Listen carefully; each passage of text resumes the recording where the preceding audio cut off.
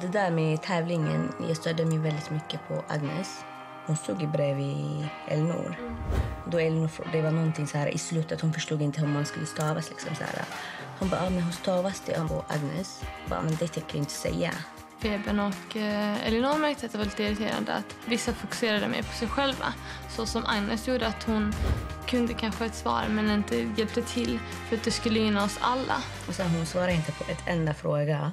Hon väntade tills vi skrev det. Sen skrev hon det. Agnes! Wow, wow, wow! Vi båda tittade på varandra. Liksom, så här, Om du inte kan hjälpa till, varför ska du titta på vårt svar? För? Exakt, du vill inte hjälpa till men du vill ta någon annan. Exakt, det var skitirriterande. Men Vi är ett team och vi behöver kämpa tillsammans om vi ska klara det här. Det funkar inte att man ska vara självisk och fokusera på sig själv. Och ändå så hade hon 400 poäng och inte fixade. det roliga är, hon hade inte ens värsta stilen. Liksom. Hon hade bara poängen. Hon hade exakt. inte de kläderna man skulle ha. Nej, exakt. Och det var ju skitroligt. Det var så här, äh, då... Du bara, haha.